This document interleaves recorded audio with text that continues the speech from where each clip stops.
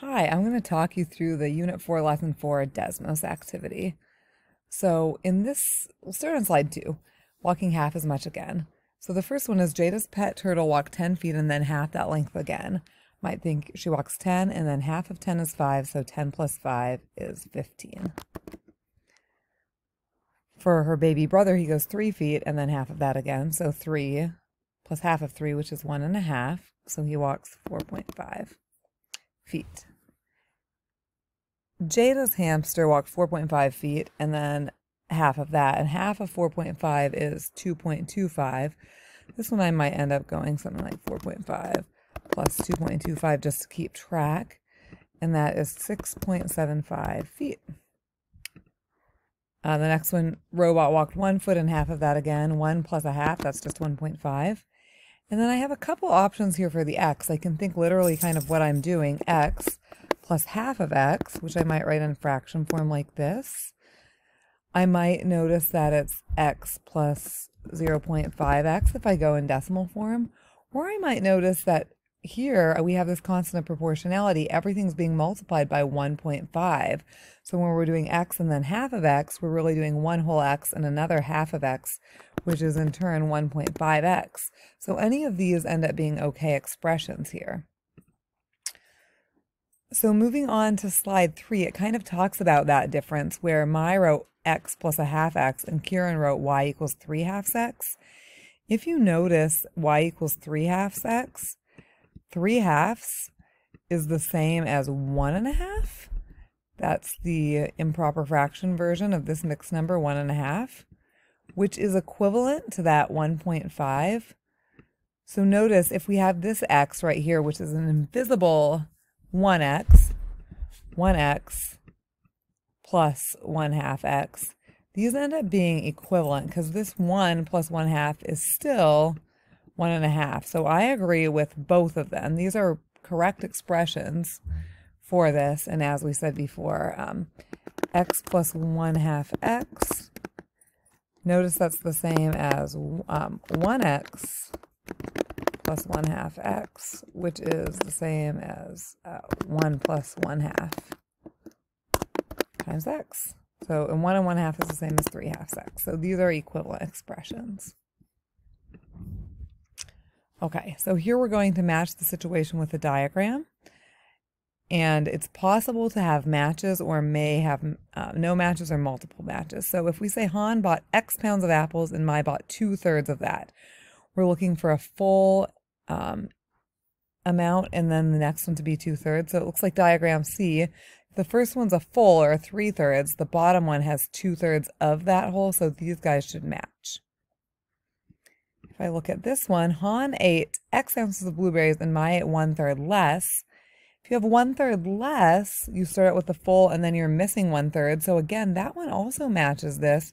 One third less looks like it's two thirds of. So those also match. When I look at Mai, Mai biked X miles and Han biked two thirds more than that. So this time, if Han's going, here's the full X, and then notice these extra two thirds of the original. So it looks like B matches with an extra two thirds on the original. And if we check, these two wouldn't have a match. Great job, we've gotten them all correct. On slide six, you're just going to try to write a story for one of the diagrams that doesn't have a match. Um, and you have options here, so hopefully it won't look exactly like mine. But I notice in this one, if we start with X as the original, it looks like Y has a little extra one third compared to X. So I might say something like, Derek read X books. Emilia read one third more than that. That goes with story A. I might also cho choose something for D. So here I might say something like, Matt ate X chocolates. Rebecca ate, I might say two thirds less than that. I might also say ate one third of that. There's a lot of options here, but it, it's getting smaller than the original. All right, so here it looks like Aaron solved X math problems and Aiden solved three-fourths more than that. So if we have Y equals, we have right down here, this looks like Aiden down at the bottom, and Aaron's this original x. So it looks like Aiden. We might have a couple options, and we'll see what Desmos likes. But I might say y equals, if Aaron was x, and then Aiden was 3 fourths more than that, I might say plus 3 fourths x. That would be called an unsimplified equation. It asks me above, can I also simplify it? So I might say this, I have this full x plus a 3 fourths. I might say it's 1 and 3 fourths x. So I might change this to y equals 1 and 3 fourths, whoops, I didn't like that spacing, 3 fourths x. Um, I'll try to get rid of that. Sometimes this formatting is funky. If it doesn't like the mixed number, we can always try it in improper fraction form as well. Let's see if it likes this. So it, it's not going to accept that mixed number. So I'm going to change it 4 times 1 and add the 3. We're going to have 7 fourths. And you can kind of notice above here, you almost see 1, 2, 3, 4, 5, 6, 7 of these fourths is another way to help.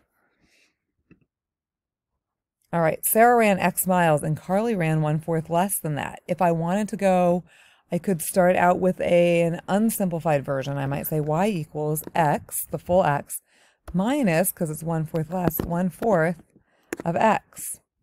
I could submit that, and that's the unsimplified, but I'm also going to try to simplify it. So notice I had all of these 4 fourths of full x, and I took away one fourth of them. So I was left with y equals 3 fourths x. We always start with this one whole, one original, and then go up or down from there. All right, so for this one, we're going to go unsimplified, which is the long version, and simplified, which is the short version, and see if we can get this relationship between x and y. So in the first one, I'm going to notice here's my x, and then there's this extra one third x. So it looks like y equals x plus one third x. When I simplify it, it looks like y equals four thirds x. I could say one and a third, but I noticed before I didn't like that. So I'm going to try just that four thirds improper. In B, if I start with this x, which is in three parts, and then we have two more of them, y equals x plus two thirds x. If I want to simplify it, it looks like y equals 5 thirds x. For C, it looks like I started with this full 3 thirds x, but I took away one of them to get to y, so y equals x minus 1 third x. And it looks like what, what was left is y equals 2 thirds x. And then for the final one, we started with a full x, but 2 thirds of them are missing, so y equals x minus 2 thirds x. And what's left there, we just have y equals 1 third x. On slide 10, you're going to actually get an x equals equation too. So notice here y equals 4 thirds x. But x, if y is the original, x is then only 3 out of the 4 pieces that originally y was. So we have x equals 3 fourths y. You might notice something really cool about these two equations. They are reciprocals, these two proportional equations when you switch the variables. The constant of proportionality is reciprocals, just like we worked on in Unit 2. So in this one, notice how y is now into five pieces and x is three of them. So x equals 3 fifths y. Again, reciprocals. Here, the original y is only made up of two of these pieces of x, and x is three of them. So x equals 3 halves y. Again, whoa, reciprocals. And one more time, y equals 1 third x. Well, here y is only one part, and x is three times as big, so we could say x equals 3y. Notice again, 3 and 1 third are reciprocals. So in a synthesis, you want to just notice when we have an x plus 3 fourths x and we're trying to use distributive property to simplify it, we can change that to 1x plus 3 fourths x. And then we can notice in distributive property says that we can take out that x and we can have the 1 plus 3 fourths combine that together multiplied by x to give us 1 and 3 fourths is just 7 fourths times x. Similar, in the bottom one, we can change that to 1n minus 5 eighths n. Then we can write that as 1 minus 5 eighths times n, and 1 minus 5 eighths is 3 eighths, so we have 3 eighths n. So we can simplify by changing this naked number that doesn't have a coefficient, put a 1 in front of it, and then combine those coefficients and multiply it by the variable. All right, that is a wrap for today's Desmos lesson.